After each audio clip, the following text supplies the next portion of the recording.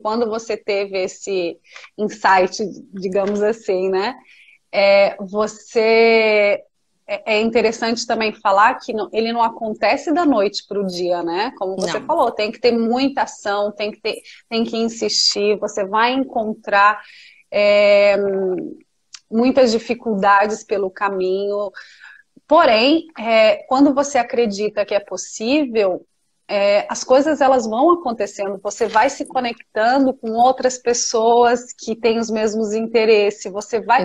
É, é, como se, a partir do momento em que você fala, agora deu, eu vou começar a construir a minha história, eu, porque eu quero ficar aqui, você começa a ver tudo muito mais claro, né? Numa outra.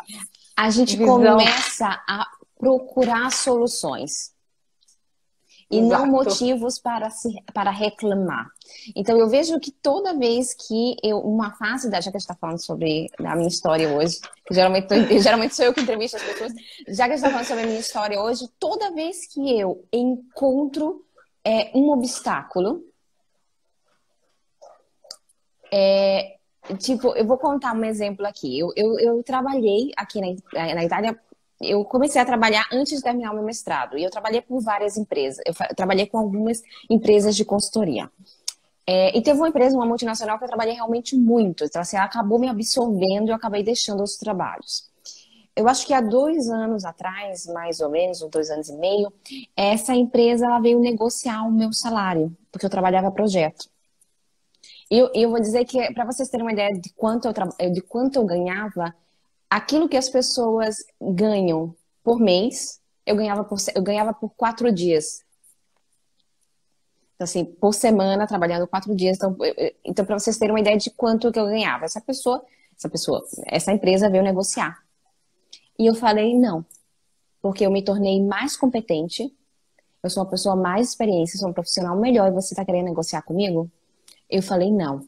Mas o que acontece? Como é, é, eu, eu, eu trabalhava praticamente para elas, é, eu fiquei sem trabalho de dia para noite.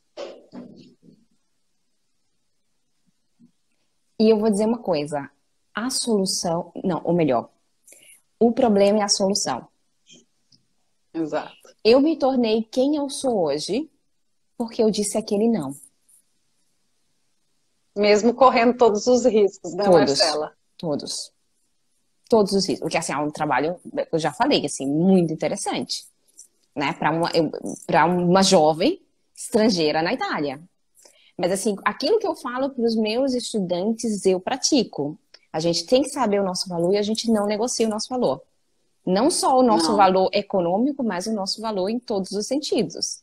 Então, é, você não vai me pagar menos porque eu sou estrangeira, você não vai me pagar menos porque eu sou mulher.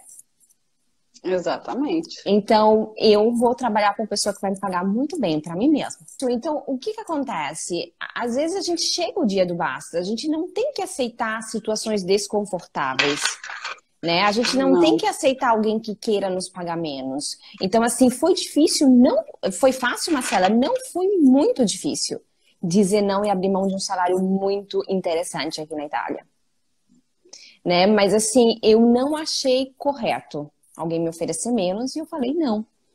Né? E foi aquele Sim. não que me trouxe aonde eu estou chegando hoje, que eu estou conseguindo atingir mais pessoas, né? Então, assim, não só eu trabalho, como tem é, eu tenho um time de pessoas que trabalham comigo hoje, enquanto eu estou aqui, elas estão ali é, respondendo vocês, porque eu não, não, consigo mais responder. Então, tá respondendo vocês, tá? A gente, eu estou trabalhando com um time de pessoas. Então, não só eu trabalho, como dou emprego para outras pessoas, como eu ajudo as pessoas a gente. encontrar trabalho. A encontrar trabalho, a criar a própria carreira, porque eu acredito muito nisso.